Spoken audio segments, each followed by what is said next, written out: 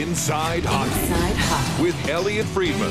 Brought to you by Ford. Built for life in Canada. Back to Air Canada Center and Elliotte Friedman. Elliotte. Well, Ron, the NHL received a lot of praise when it cut a deal with the online site YouTube to put its highlights on the internet. But that is just one way, and the method that this game is being covered is going to change.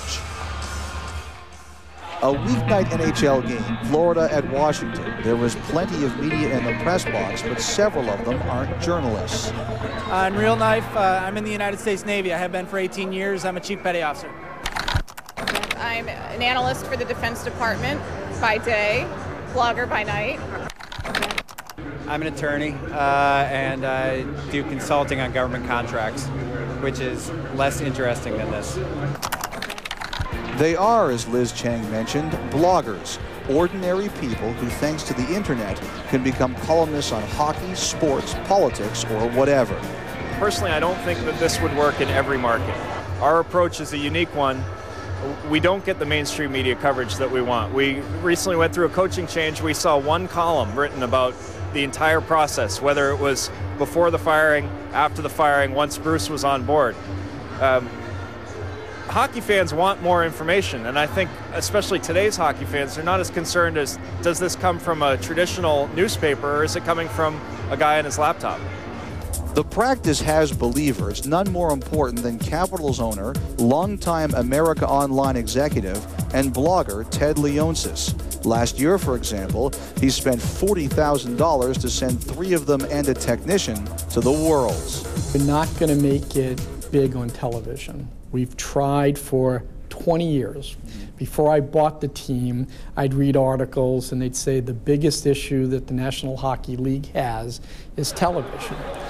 It continues to be our single biggest issue. We have to lead. That is the imperative for our league to build value. We have to be the most new media savvy league and go to where the puck is going to be. Canadian teams with their already jammed media boxes don't give away any of these seats to bloggers. And truth be told, very few American teams do either, with only the Capitals being joined by the likes of the Islanders, the Sharks, and Philadelphia, although Anaheim and Pittsburgh are considering it. However, there is opposition you know, it's a lot like the Wild West right now in the blogging world. Uh, blogging is in its infancy. The, the, line is blurred between fandom and uh, uh, journalism. Uh, there are some bloggers who consider themselves fans first and journalists second. There are some other bloggers who consider themselves journalists and not fans at all. Uh, and I think it's difficult for both the league and for our association to try to get a handle on, uh, you know, how this is going to evolve.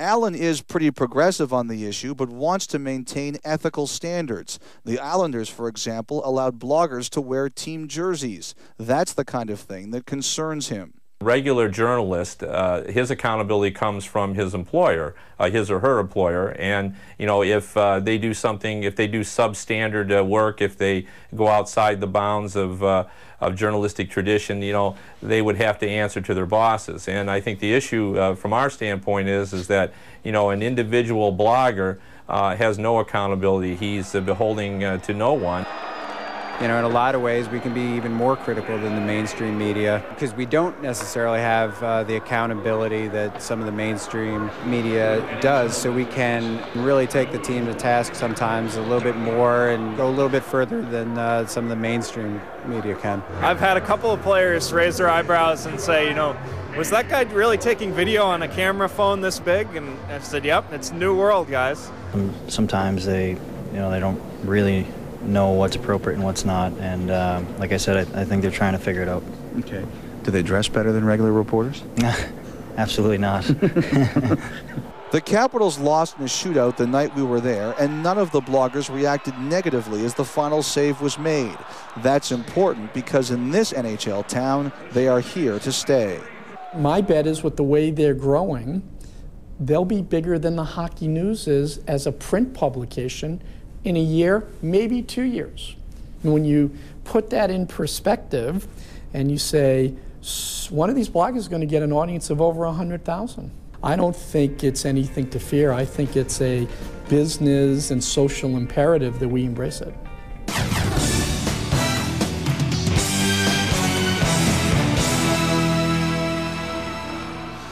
Yesterday I was emailed an article that came from United States Technological Company that said among youth in that country today, they're spending more time online than they are watching television.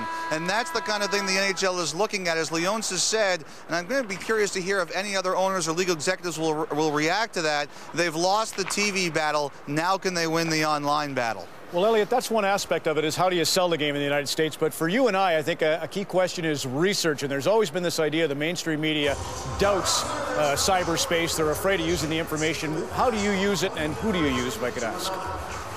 Well, there's a couple of different things I do. For one thing, I think it's important. Sometimes the fan perspective gives us an idea of things that we may be missing. And I do search newspapers online first, and I'll check some others to see if there's any articles I missed. James Mirtle, who's actually a copy editor at the Globe and Mail, has a great blog that links to other stories online and offline that I might have missed. And the other thing, too, is there's a couple other individual guys, guys like Danny Talansky, who does a great recap of games the night before statistically. Another guy named Bill Meltzer, who keeps an eye on players overseas in college, and often I don't have time to follow. But what I'm looking for, like you are, Ron, is just people to fill in the gaps. Did I miss anything? Because you're like me, you're an information junkie, and you live in fear of the fact that maybe there's something going on out there that you don't know about. Well, and I worry, too, Elliotte, about agendas. Uh, the problem with us a lot of the times is we trade in the currency of vanity. If I have that inside story, I look great. Everybody admires and maybe envies the fact that they're on the inside. But I'm a press agent for some source, and it could be that while the appearance of power is with me, the actual power is with the source feeding me or whomever it is. Let me show you what I do. This is any search engine. Go to Google. I came across Tom Benjamin here we have uh, we're sort of kindred spirits on officiating. So there's his. As I go down on Benjamin's website, and he goes through a lot of stuff on the collective bargaining agreement. I'm no labor lawyer, so he helps me. Greg Valentine, long overdue to give you some credit. His uh, website is called The Puck Stops Here. He's who showed me a couple of weeks ago that Russians we have about half the number of Russians in the NHL right now uh, because of well no transfer agreement, etc. Down here you see Tyler Dellow. That's Alberta. Again, great on uh, labor issues, just show you how his website looks. But they talk a lot about Edmonton, obviously helpful when we're doing the Oilers. Jamie Fitzpatrick, he's a Newfoundlander, so I get a sense of what's happening in Newfoundland. There's James Mirtle to show you his blog. So you click on, you get this. He's very good at filing uh, research numbers. Well, look at this. Hockey Night in Canada, open thread. I hope you're writing good things about us, James.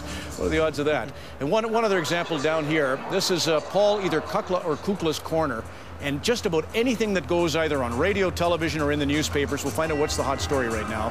Could Tampa move one of the big three? And he actually references Spector, who is Lyle Richardson of Prince Edward Island. So there's another example. I'll find out what's going on on the island. And Lyle, who works for Fox, uh, does some online blogging for them. A lot of trade rumors. So lots of information available on the website. There's no doubt about that. And uh, as I say, we're big fans and, and appreciate more the merrier. Rick Westhead, on the other hand, is with the Toronto Star. I still rely on that too, as you do, Elliotte.